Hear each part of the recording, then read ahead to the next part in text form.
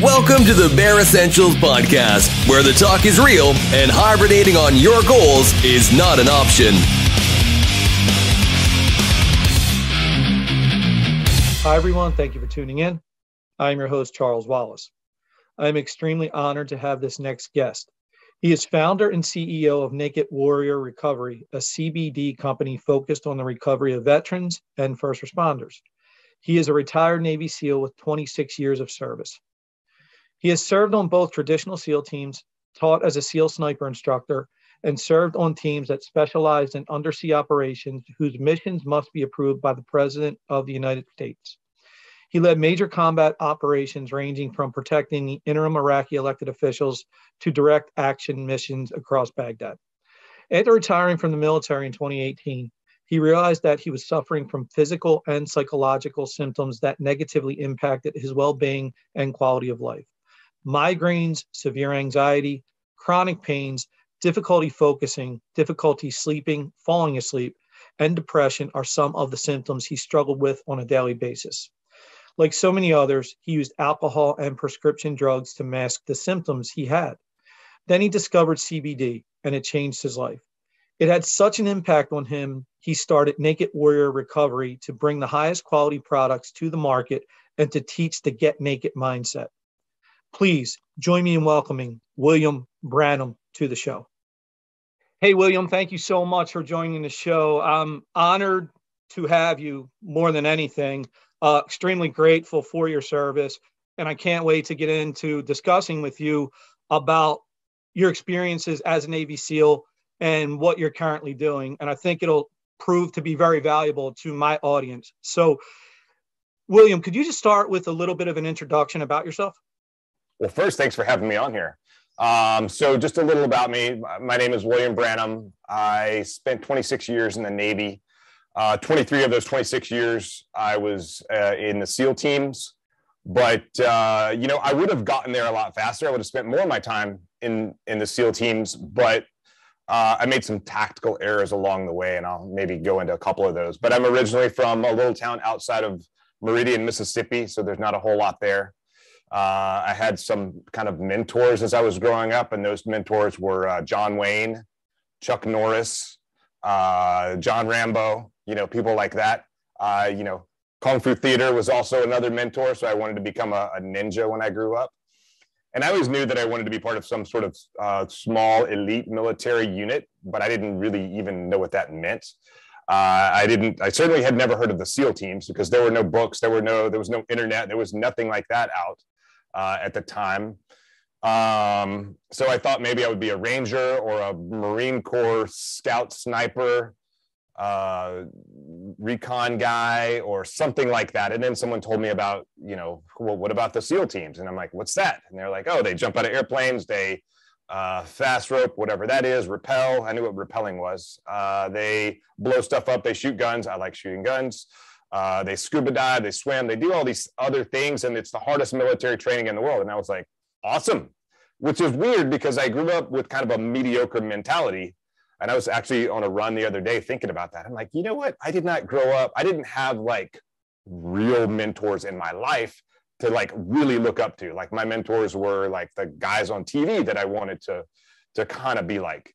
And so when someone said, "Yeah, it's the hardest military training in the world," I was like, "Yeah, that's I want to do the hardest thing in the world." So uh, maybe I wasn't completely mediocre in my in my thinking. But I wanted to be bigger and better, but I always and I still feel the same way. I feel like I still have these mountains to climb uh, in front of me, and so I think that's like a great mentality to have to continue to just to live your life by to never have uh, like you know we'll talk about you know SEAL training and Hell Week and things like that in a minute. And a lot of guys get to a point in in SEAL training, or you know, you you graduate Hell Week and you think, oh, all the hard work is done, and it's not. It's far from that. So yeah, so that's just a little bit about me. Uh, I currently uh, live in Hawaii. Uh, because my last duty station there's a there's there is a SEAL team here in Hawaii. We do some uh, special special stuff, and then when I retired, and I'm using air quotes for retired, because I've never really retired. Um, I was like, well, I, this seems like a pretty good place to live. I, I like surfing. I like spearfishing. I like Uh, I like the ocean more now than I used to because you know SEAL training will take that out of you. Um, and uh, yeah, so it's a, a, pretty good, pretty good lifestyle here. Although we we pay more in uh, more to live uh, than anyone else, but uh, yeah. So we're now I'm you know building building other businesses and other opportunities, and and uh, yeah, that's just a little about me you just said one thing that I want to touch on for the audience, and it caught me off guard. You just Navy SEAL, you think best of the best, elite of the elite. And here you are saying, growing up, you had somewhat of a mediocre mentality, so to speak. I think that's a lesson that we can all take, though, that no matter where we start, it doesn't, it shouldn't limit where we can get to. So yeah. I think that was a great point to touch on. So that being said, you have what you called a more of a mediocre mentality. How does that play? I'll jump right into it. How does that play into the infamous Hell Week during BUD/S? So Hell Week is Hell Week is interesting. Hell Week is five and a half days of absolute misery. And just to kind of give people perspective if they haven't really heard about Hell Week, Hell Week is week depends on the structure of the class. It's anywhere between week uh, four and six of, of SEAL training, and SEAL training is 26 weeks long. Of course, it took me uh, 13 months to finish six months of, of training because I got hurt a few times along the way. But uh, um, Hell Week is, you lose about 70% of the people leading up to Hell Week. And then Hell Week, you lose another 70% of whatever that core that was left over. So Hell Week is it's it's very hard, um, and it really weeds out guys that definitely don't want to be there. They think they do, but then they're like, you know, screw this, man. I don't I don't want to put up with this. I don't want to deal with this. And I certainly saw that. Uh, but I was very fortunate during Hell Week in that I I saw that one boat crew, and so that's how you work in in SEAL training most of the time, at least in the first phase of SEAL training. You work as a boat crew, so it's seven guys, and you have this rubber boat that you carry around with you pretty much all the time. You do races in it. It just like builds teamwork, uh, builds camaraderie, it builds hatred, it builds all sorts of different things. Um, but what you learn, you learn very quickly about the guys to your uh, your right or your left or your front or your back because uh, while you are going through this adversity, you either rise to the occasion or you fall to uh, kind of feeling sorry for yourself. And when I first started during Hell Week, the boat crew that I was with, there were guys that were just kind of being mediocre. And I know I talked about, you know, having a mediocre mentality growing up because I didn't know any better really. Um, but I knew like I started to learn better and I started to see people who were performing well above mediocre. They were performing awesome. And uh, and but you know what? I saw a lot of those people quit during during SEAL training, and I couldn't put my finger on. I couldn't figure it out. Uh, but then during Hell Week, I saw one boat crew that was winning like every single race. And this starts, you know, Hell Week starts Sunday night and finishes Friday afternoon sometime and uh, and it was like all Sunday night I'm seeing these guys win, and then Monday morning and Monday afternoon I'm seeing them win, and I'm with guys that I like them, which is part you know part of it is you're you're it's based on your height because you carry this boat on your head, and most guys about three weeks after Hell Week they're all you know have these big bald spots. Maybe that's what happened to me, um, but you know, the guys were just wanting to quit. They didn't want to put out, they didn't want to try to win the races because what's the point of winning the races? We're still going to be punished anyway. Well, if I get to sit down for five extra minutes, that's awesome.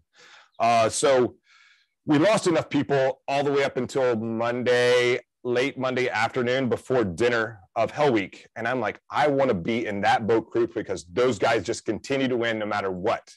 And so we had to readjust who was in boat, what boat crew and it was all based on height. And so I, I was like, okay, I want to be in boat crew three. I'm in boat crew four right now. I want to be in boat crew three. So I'm like one, two, three, four, five, six, seven, seven guys per boat crew. That's boat crew one, one, two, three, four, five, six, seven. Boat crew two, boat crew three, one, two, three, four, five. Oh, I'm I'm number five in boat crew three. And then I saw someone else kind of squeeze in the same way that I did because they they saw what I was seeing, and we won almost every single race for the entire rest of Hell Week and that's not a small feat. That's that's kind of a big deal. And it didn't matter if we were if we started in the back and we're going to chow and we would if there was a gap between the boat in front of us and the boat in front of them we would pass them and, and just work our way to the front in everything that we did. And so the lesson that i learned from there is it sucks.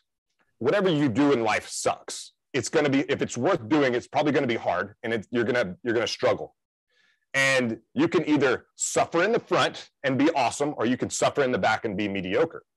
And so that was the lesson that i learned during hell week. I was surrounded by these by these guys that they didn't care how much it hurt or how bad they felt. We all felt bad. We all felt sorry for ourselves. At some point during that um, during during hell week like running and my stomach hurts and my legs are on fire and i don't know if i can do this but i'm just going to keep going because i don't want to let the team down and so everyone else had similar uh, times where they felt sorry for themselves but they all every single one of us without talking about it we all knew that it was better to suffer in the front than suffer in the back.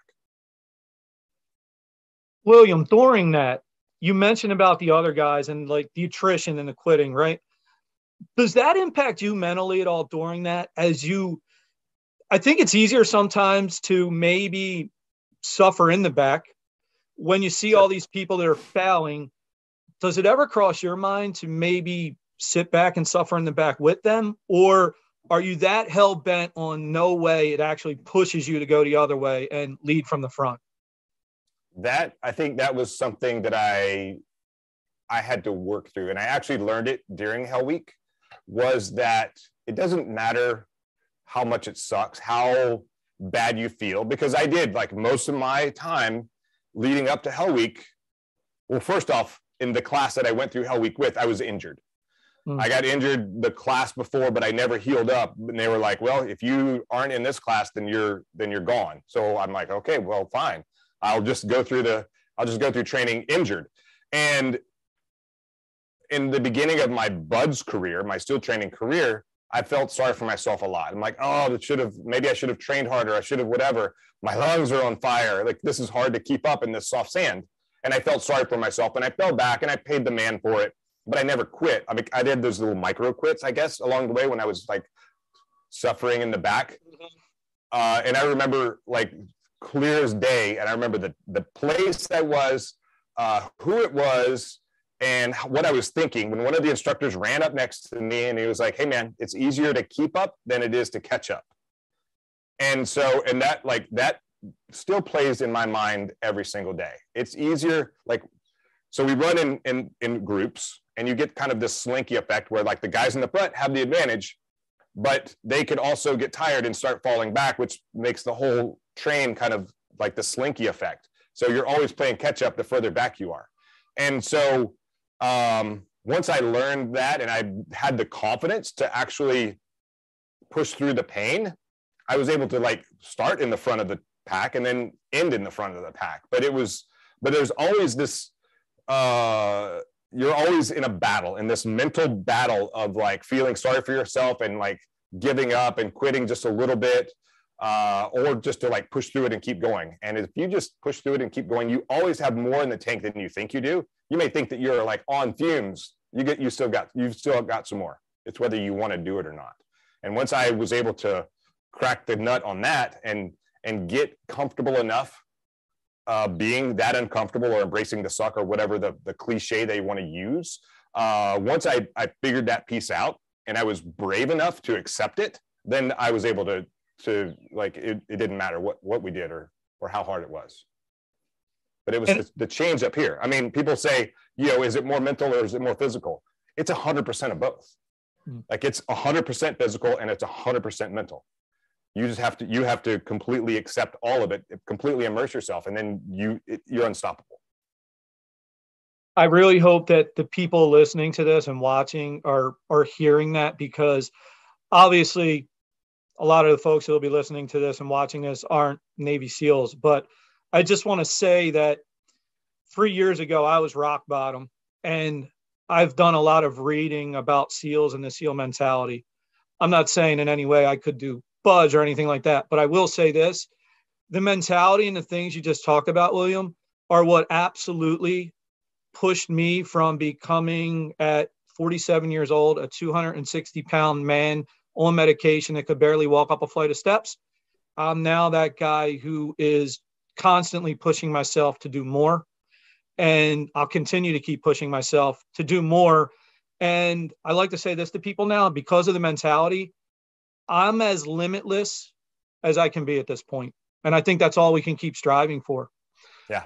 So, William, hearing all that and what you went through, just maybe a little bit, right? So now you you're a Navy SEAL, you're out of BUD/S, you're was there any specific thing you can remember about your your service or a mission in particular where you had to really rely on that training that sticks out to you that you were that you'll say yeah it was my training that got me through this and if it wasn't for my training i don't know if i would have gotten through it um, I will say that that SEAL training, it at the end of the day is it's hard, but it's not that hard. It's okay. You know what you know is uh, and and when I we'll, we'll talk about it in a minute, but you know, Hell Week is hard. It's five and a half days. It sucks. You're like coated in sand the whole time. You're wet. You're cold. You're miserable. You don't sleep, um, and and it sucks. But you always know that it's going to end. You always know that in Hell Week they feed you four times a day, so it doesn't matter how much it sucks. All you got to do is make it to that next meal. That you know, kind of create that small victory. Mm. In the real world, and and they also, I say, we just had a guy this past weekend, Hell Week secured, and uh, and a, a young man did die after Hell Week. We don't know the the cause of it or anything else. Uh, and another another another young man is is uh, in critical condition. We don't know why uh, at this time, but we do know that you know Hell Week will, it breaks you down, but it's still a lot of safety built into that, into that um, that evolution, and into all of that training. But when you leave SEAL training and you're doing workups for you know for whatever deployment, I've been colder, I've been more miserable uh, in training environments in the SEAL teams than I ever was in SEAL training. Like SEAL training is just a selection course to see if you have the grit to keep going once you get into the SEAL teams.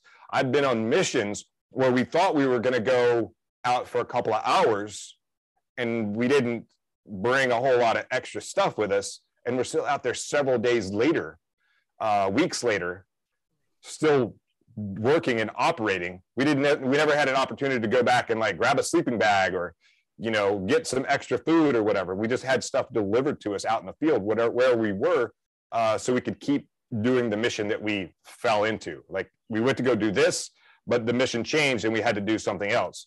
And so that can really mess with you uh, when you think that, okay, I'm only going to be out here for a few hours and you're still out there days and weeks later. So it's it's the SEAL training is just again, it's just the selection course to see if you have the grit and the grind. But you know, the real world has a completely different idea of what uh, you should be doing sometimes. Okay, so as you stand there, I, I think everybody can see it. Love the shirt. Get naked.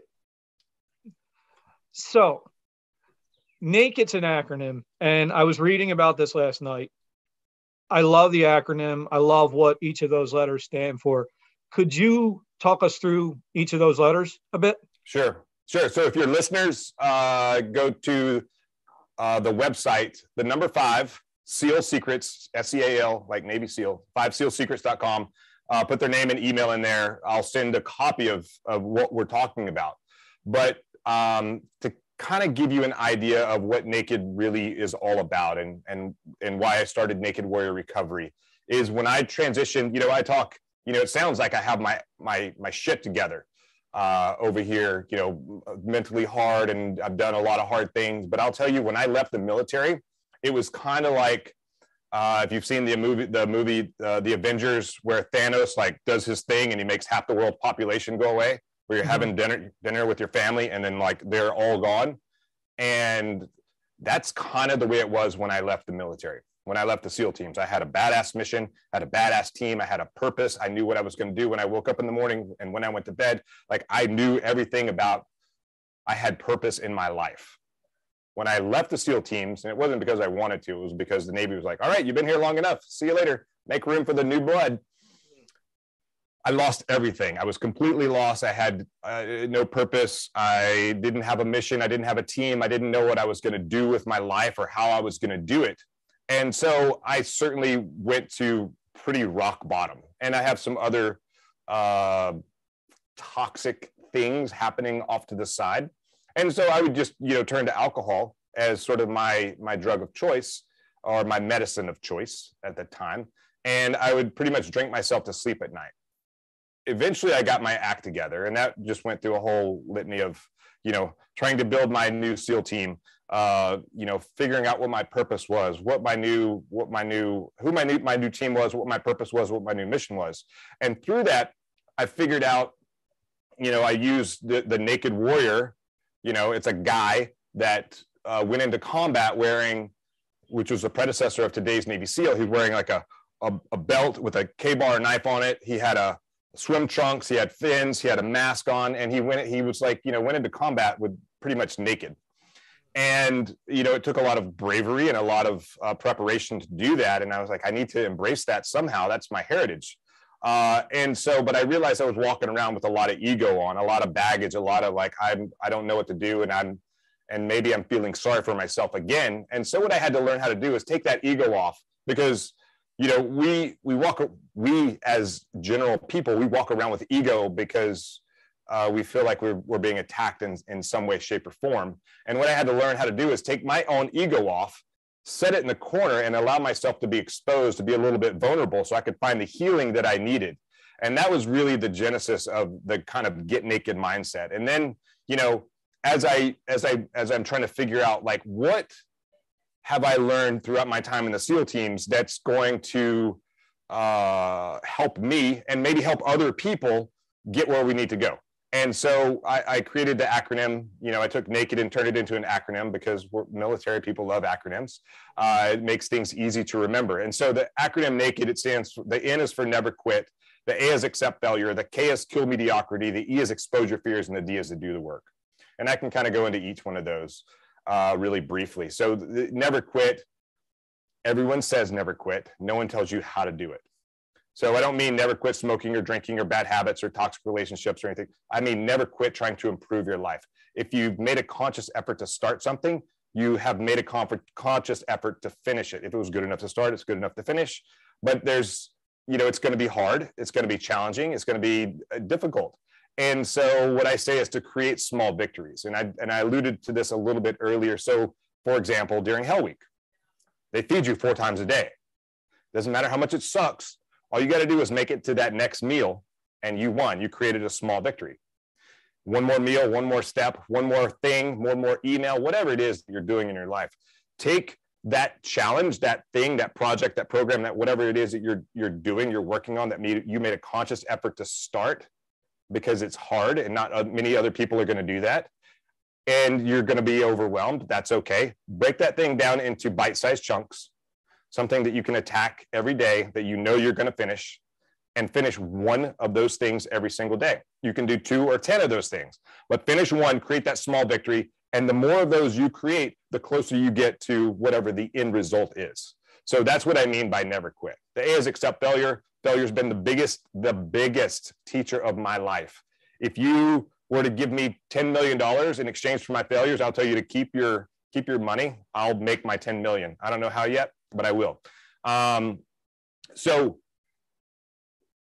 and you know, kind of going back to guys quitting SEAL training, one of the things that I realized pretty early on, or I learned pretty early on, are these guys. Many of these guys made it look super simple. They like they were effortless runners, effortless swimmers. They could fly around the O-course. They were charismatic. They looked good. You know, Greek gods out there on the beach, and they were really good leaders. What I thought were uh, was a good leader, uh, and they made everything look super easy. I was struggling the whole time.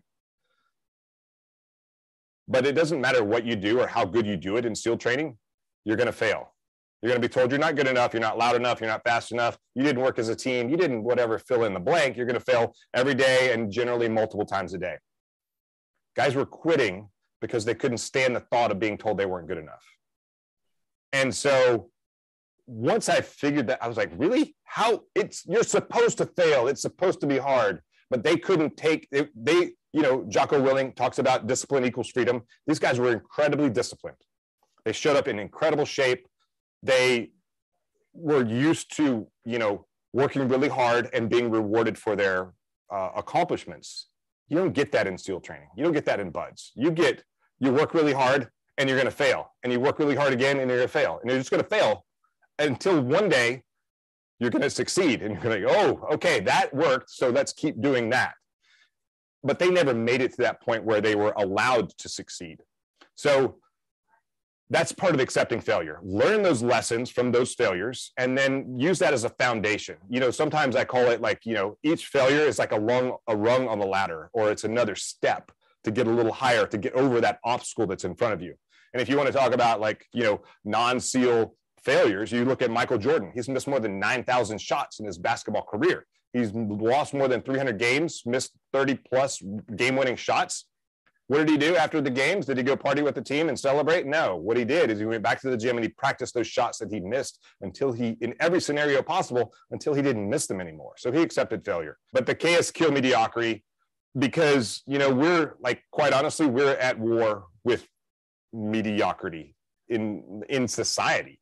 You know, uh, technology has created ease of movement and ease of doing things, but it has also made it easy to not do things. And when we, you know, you can hit a button on your phone and order ice cream, but you can't, um, but you can't hit that button on your phone to make you go work out.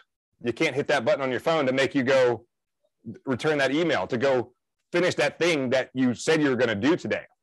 And so every time you make an excuse to not do something, uh, it's generally because your ego you're you're you're not competing with your ego because your ego knows every your, your strengths your weaknesses it knows exactly what to tell you to make you not do something. And that's when we become mediocre. And our ego gets in the way. And that's also part of kind of this get naked mindset this this concept of taking your ego off and setting in the corner. So what i tell people is to compete compete in kindness compete in generosity compete in gratitude. Like those are three great things you can compete in just to make your life better. And then when you compete with those things, then start competing with your ego. And when you start winning the war against your ego, the war with your ego, you'll kill that mediocrity in your life. The E is expose your fears. And I don't mean lions and tigers and bears. I mean like the fears that swirl around in the back of your mind, those fears that you keep buried, that you don't want to share with anyone, that you don't want to tell anyone about, you don't want anyone to know about. Those are the fears, those noises that thoughts that come out when you're driving in your car by yourself, when you're laying in bed at night, you can't go to sleep, you wake up in the middle of the night thinking about these things. Those are the fears. And I look at those fears to be like a vampire. A vampire lives in the darkness and it sucks the life out of you. Those fears are doing exactly the same thing. Those fears, they live in the darkness in the back of your brain and they're sucking the life out of you. And how do you kill a vampire? Kind of like the sun is shining on me right now. You expose the vampire to sunlight and you kill it fear is exactly the same way. You expose your fears and then you kill them, or you at least are, have the ability to take control of them. And just to kind of give you an example. So if you have a, um, you know, maybe you were you were beat up as a kid, you were you were bullied, you have low self-esteem. Go take a Brazilian jiu-jitsu class for a year. You're going to be forced to fight someone every single night that you go to class in a safe environment. You're going to learn a skill set to learn how to get better in defending yourself. And in that process, you're going to you're going to get better. You're going to meet people who are going to want you to get better. All of these things are going to increase your self-esteem because you expose the fear of being beat up or being bullied or whatever. Maybe you have a fear of public speaking. Take an acting class. Take a uh, a um, uh, public speaking class. You're going to learn very quickly most people are afraid to speak in public because they think people are going to judge them. Or you're going to learn very quickly. Do a podcast. Exactly. Uh, you're going to learn very quickly that the people that are in your class, they want you to succeed. They want you to get better. Just like that Brazilian Jiu Jitsu class, they want you to get better. And so by exposing those fears, you're going to, uh, you'll be able to control them and then they will no longer be able to control you. But it's not a one trick pony. You have to do it over and over and over. Uh, it's funny, like right before this call, I was in a uh, I, I, I do a lot of uh, coaching. I pay for coaching. I also do some coaching. And I was in a coaching class, and um, one of the girls in my in my coaching mastermind, uh, she is a TikTok superstar. She's a real estate agent, and um, when she first started getting in front of the camera, she wasn't that good.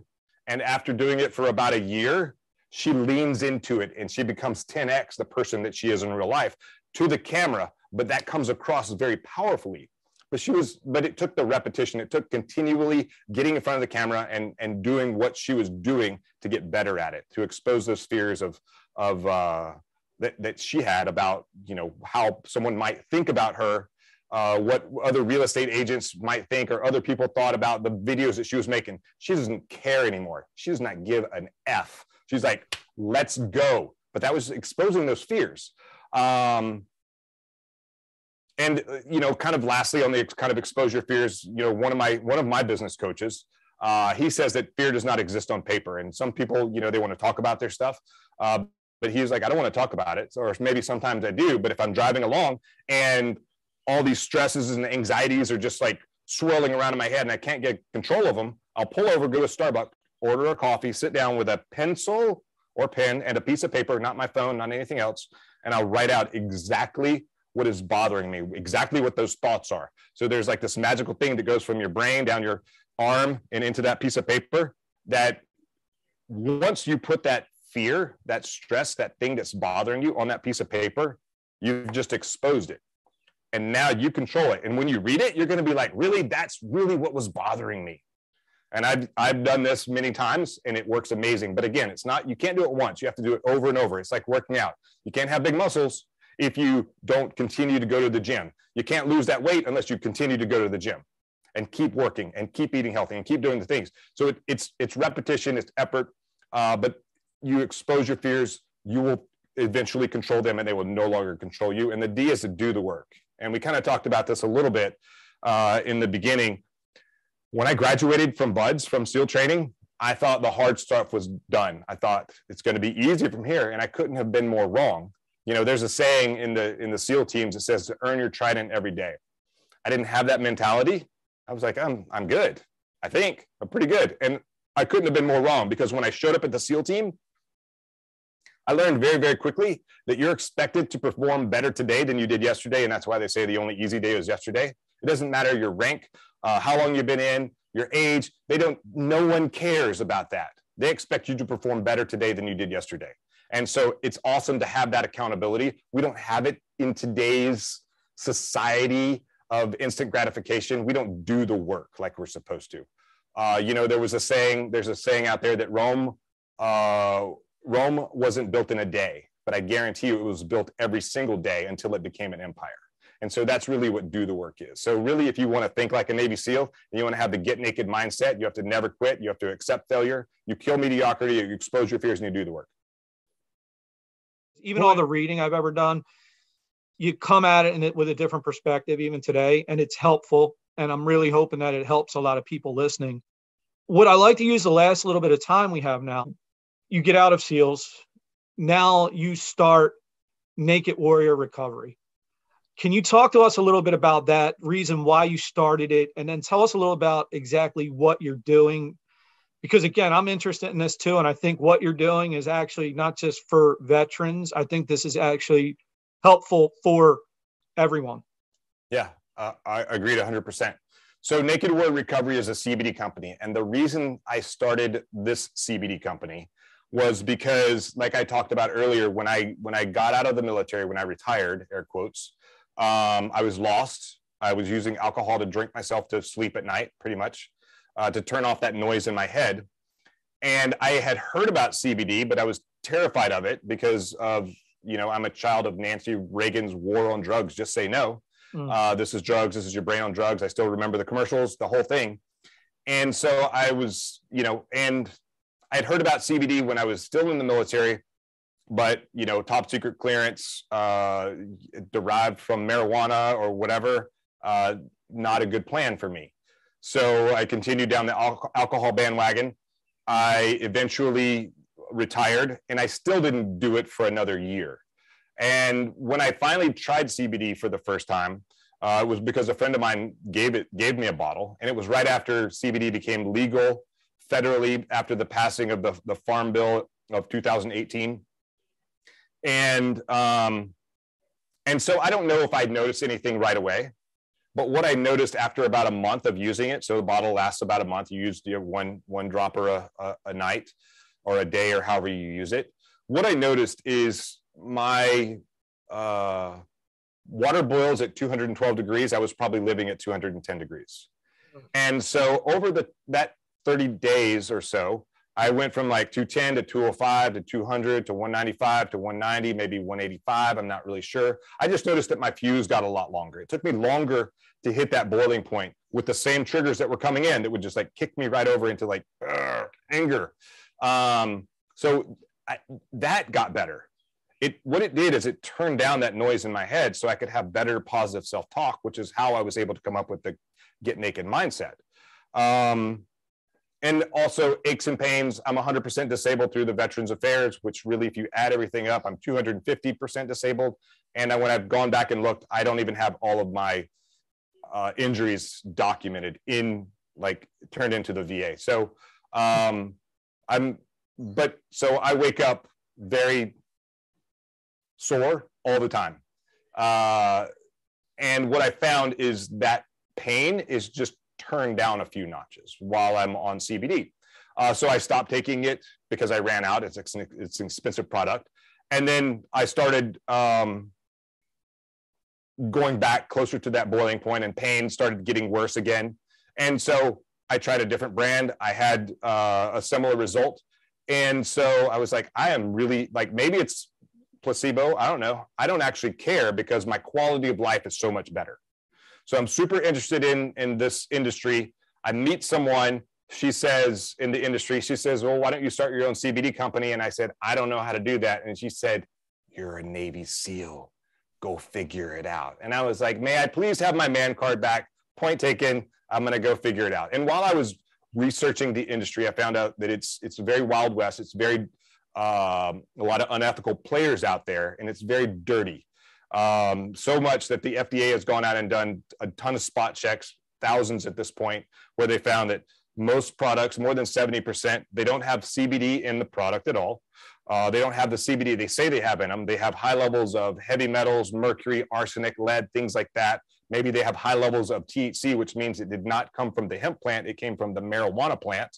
Um, there are uh, pesticides, herbicides, things like that. And that's because uh, the hemp plant is a bioaccumulator. It, it, it pulls all the good stuff out of the soil, it pulls all the bad stuff out of the soil. So you want to make sure that you're getting your, if you're going to do CBD, get it from a, a trusted source, a trusted farm um, with that have ethical practices. And so we've, we've, we've been in this industry for a little while now, and it's starting to get better. But our goal was to have the highest quality CBD on the on the market. And someone has asked me before, like, "Hey, what's the difference between your CBD and the CBD I get at the gas station over here? Because it's like cheaper and it's whatever." And I was like, "What's the difference between the sushi that you get from a sushi house and the sushi that you get from the gas station? Do you really want to roll the bones with gas station sushi?" No. CBD is the same way. Like you don't know where that's coming from. So all of our products, we have a QR code on the back. You can see the third party uh, testing uh, we post most of them on the website. Sometimes we forget. Uh, for every single batch. If you're buying, if you go to a website and they don't have many batches of every product uh, that they're that they put out there that they're uh, selling, then you should probably leave that website. Um, there's some really great companies and there's some really bad companies. Uh, our company, our mission at Naked Warrior Recovery is 22 to zero. So what that means is 22 veterans take their their life every single day, and you know, we all need a purpose. We all need a mission, and that's kind of what I was talking about in the beginning. I lost my purpose. I lost my mission, and now my mission is that 22 to zero. You know, CBD is part of it. Mindset is is the other part of it, and so I'm I'm partnering with you know different uh, nonprofits to uh, to help reduce that number. And someone asked me once upon a time, what's a win for you? If I can make 22 to 21, awesome. If I can make 22 to zero, even better. So uh, that, that's that's our mission. That's where we stand. And and you're right. CBD is not just for veterans. It's not just for first responders, but it's just the um, it's just the mission that we're on. And it doesn't matter. You can be a soccer mom. You can be a real estate agent. You can be a, a podcaster. You're going to have stress. You're going to have anxiety. CBD is a modality to help turn down the noise to to help uh, to to kind of help maybe bring you back into a little better mental mind space some of the things you just said, obviously, I think there's a misconception out there about it. Um, the one thing you mentioned right off the bat was that I think so many people, when they hear of it, they associate it right away with marijuana. So, William, do you think for, I'll, I'll use myself as an example. I, I definitely think it could help me as far as some of my stresses with my, my, obviously my career, what I do is, is for my work.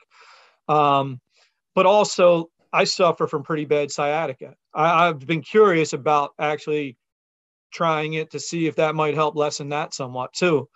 And I think I am going to try it. And I think hearing the rigor that you guys go through, I'm going to try it from your company and give it a shot and see uh, see how it helps. So awesome. I am going to give it a shot. Um, I would say I, will I'll tell you this: CBD works differently for everyone, and I'll I'll go into some quick bro science. Okay. Uh, so every mammal has what's called an endocannabinoid system. So it's a giant neuroreceptor that's connected to every other system in your body. Think your, your central nervous system, your respiratory system, your digestive system, your immune system, lymphatic, like all the systems. Your body makes endogenous cannabinoids, which CBD is a cannabinoid from the cannabis plant. Hemp is the cannabis is a cannabis plant. Um, but you make endogenous cannabinoids to help feed that endocannabinoid system. And the reason that people think that CBD or make the claims that CBD cures cancer or all sorts of other things, it doesn't do any of that. What it does is it helps reduce chronic inflammation and it goes in and it feeds this endocannabinoid system that you have. And so once that comes back in, like what it does, basically it brings the endocannabinoid system back into homeostasis and allows your body to heal itself. But it does have uh, you know it does affect it does help people with with um, chronic disease because it reduces chronic inflammation. It helps with uh, certain kinds of depression. People have been able to get off of of of uh, opioid kind of medications using cbd i'm not making any medical claims here uh, but it, it works differently for everyone some people can take a little bit and have huge effects. Some people have to take quite a lot to have small effects. But whatever the effect is, as long as you're getting better, I think is is a good thing. So for you, I would say probably maybe some sort of uh, a tincture ingestible. Um, maybe even this product, the the M60, which I've I've gotten some really amazing feedback on this for people with carpal tunnel and other like hand uh, arthritis, uh, and probably like some sort of topical for the for the sciatica. Okay. Yeah, I'm definitely, I, I appreciate that. I'm going to give it a shot. So, William, I'd like to end on this note. I mean, you've been so gracious with your time. I really appreciate that. Let everybody know how they can find your site, find your products, things like that. Yeah, I mean, for sure, fivesealsecrets.com is go download that that document. And I'll, just a quick story about that is um, I shared that document with a buddy of mine who's in the outdoor apparel industry because he was he was having a lot of issues like he's having issues with his ex-wife uh, but he was also having issues with the ceo of the company and he's in charge of product design mm. and you know they had just gotten a bunch of, of vc capital in, infused into the company and they're like okay we need to like double our you know everything quarter over quarter. And so a lot of pressure from the vc to the ceo down to the team. And so my buddy jim I'm, I was talking to him and I was like, hey, man, let's, you know, I was trying to strategize, like how to talk to your CEO. And I was like, okay, and also like check out my five seal secrets and and let me know what you think, and maybe they'll be applicable in your life. And he he downloaded it, he printed it out, he laminated them, he put them on his wall, and then he went in the next day and talked to his CEO, and he went in and he said, "Listen, Joe, whatever the CEO's name is, he's like, listen, I'm afraid I'm not going to be able to perform for you. So, number one, he took action. He took charge of the meeting right away by being vulnerable because the CEO was like, holy moly. First off, why are you saying you're afraid? And number two, why are you being honest? No one does either one of those things. So, let's talk about that first before we even start this meeting. He was like, oh, my buddy, Five Seal Secrets, la, la, la. And so now that's, that is kind of proliferated throughout the company there, and that's part of their their company culture. Um, so five fivesealsecrets.com, name, email, I'll send it to you right away. Um, for CBD, if you go to nw-recovery.com or nakedwarriorrecovery.com, uh, you can find uh, CBD products. And uh, let's see, Instagram, uh, Naked Warrior Recovery, all one word, or at Naked Warrior Recovery, however you say that. And I'll tell you what, let's give uh, let's give your your listeners a 20% discount since oh, we're right you. here. Yeah. Thank why don't we do it uh, Bear 20? Okay. Sounds good. B-E-A-R 20. I love it. I love it. I'll probably use it myself. Am I allowed? Absolutely. Absolutely. No, thank you. I appreciate 100%. that. Yeah. Um, well, William, thank you again. Uh, I hope everybody enjoys this as much as I have. I think this episode is full of information. I just, and it's information that will help change your life. And trust me when I tell you this, I've been reading about stuff like this involving Navy SEALs for a while now. And having a chance to speak to William, it just really reiterates that all this it's it's not bullshit honestly it is stuff that will help change your life you just have to incorporate it and look none of us are going to claim that we're navy seals but for the average person guess what? You incorporate some of this into your life you're going to be a better person every day for it. So william thank you again for everything and you take care. Yes sir. Thanks for having me on the show again. Thank you. This has been the Bear Essentials. Thanks for listening, and remember never hibernate on your goals.